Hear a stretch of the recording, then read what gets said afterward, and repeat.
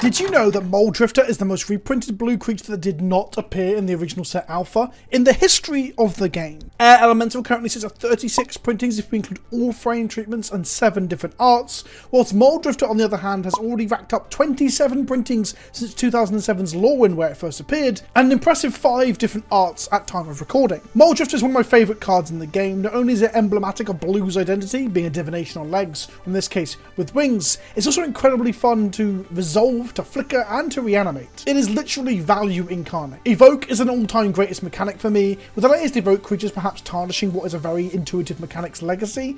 It's a spell, and for more mana, it's a spell and a body. I wonder if Mulldrifter will soon overtake Air Elemental for most printed blue creature ever. I have a feeling it will soon with the rate of which we see new reprints, borders, and arts. Subscribe for more MTG content and factoids.